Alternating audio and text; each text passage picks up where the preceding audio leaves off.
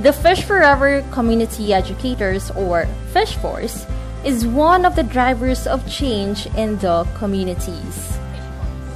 Ang Fish Force po, uh, isa po siyang organisasyon na tumutulong po sa ano po, tumutulong po sa um, mga fisher folks po natin. Uh, yung Fish Force po, isa po sa nag sila po yung nag um, nag-encourage po sa mga fisher folks po natin about sa financial literacy po, kung paano po protektahan po yung kad- uh, karagatan natin, tsaka yung sa uh, uh, marine environments po natin.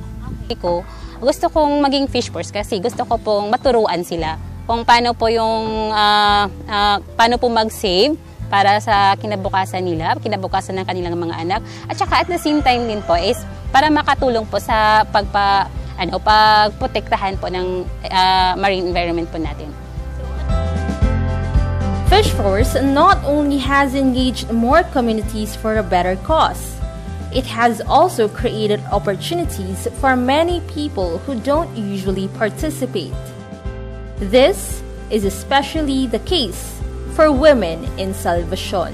Kadako kazunan an gawas sa sa financial mas dako an amo na kuan na kuha ng mga kaalaman bahin sa pag apil-apil namo ng mga savings kay mahibayo kami sa ba, about trainings kung uno ang mga uni amo mahibaw-an gikan dito sa trainings amo sabson amo diri diri ko sa amo mga membro. Sunod as kuan dako gazunan kalainan sa wayay imo di pa sa una sa nang kuman kay dili sa pagpanghamugira ra sa imo kaugalingon gani na ma-share amo talent lang pa. Amo nakita dito nakatsap na mo amo amo i-share sa amo mga membro. As kami zaon kami sa mga sa amo savings.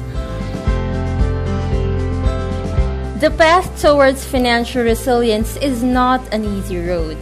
It will take everyone's concerted efforts to reach our goal. The foundation is already set, and we can only keep moving forward towards a better future, towards a financially resilient Surigao.